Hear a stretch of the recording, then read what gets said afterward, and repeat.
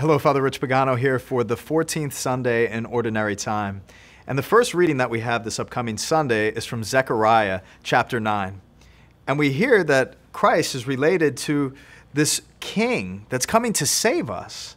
So shout with great joy and jubilee, O daughter Jerusalem, because Christ, this Savior, is coming meekly, riding humbly on the back of an ass, on a colt the foal of an ass. This is like a, a beast of burden, but it's also a beast of humility in a sense. So, what will God banish then? If this is how our Savior, the King of Kings, is going to come to us, He's going to banish the chariot from Ephraim, the horse from Jerusalem, the warrior's bow he shall banish, and he shall proclaim peace to all of the nations.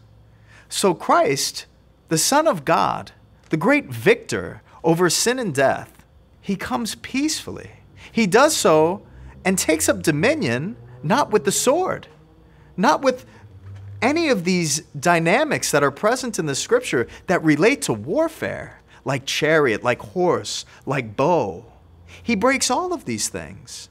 And he does so by his own death, uniting us by his blood and his sacrifice. He establishes peace through the hearts of his believers and followers.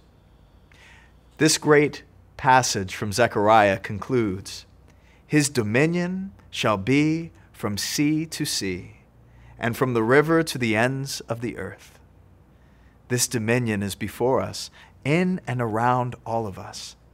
Let us live under His dominion and live peacefully in this world that may be torn by strife bloodshed, and warfare.